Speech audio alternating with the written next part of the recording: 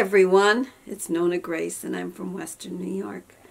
Today we'll start out with the Thankful Challenge that was um, put out there by Kimber Keto Life and Simple Life Reclaimed and I was tagged by Mark, the Arkansas woodcutter. And I'm tagging today, I am tagging John Will It Grow. And my thankfulness for today is family. And I had lots of family visit today, actually. I had my grandkids because they've gone back to um, distant learning up until right after Thanksgiving. Then they'll go back to school again. And Emily stopped by because she wanted her Christmas ornaments and a haircut. So I did that. And Jessica came by to pick up her kids.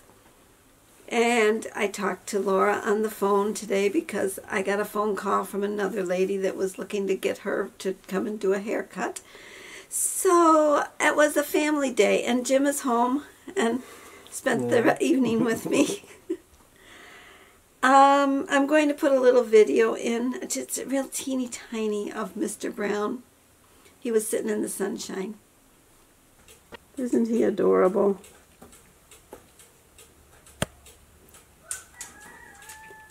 There's Mr. Brown. Look at his back tail is starting to grow. But you still don't have your crown and your wattles. Strange.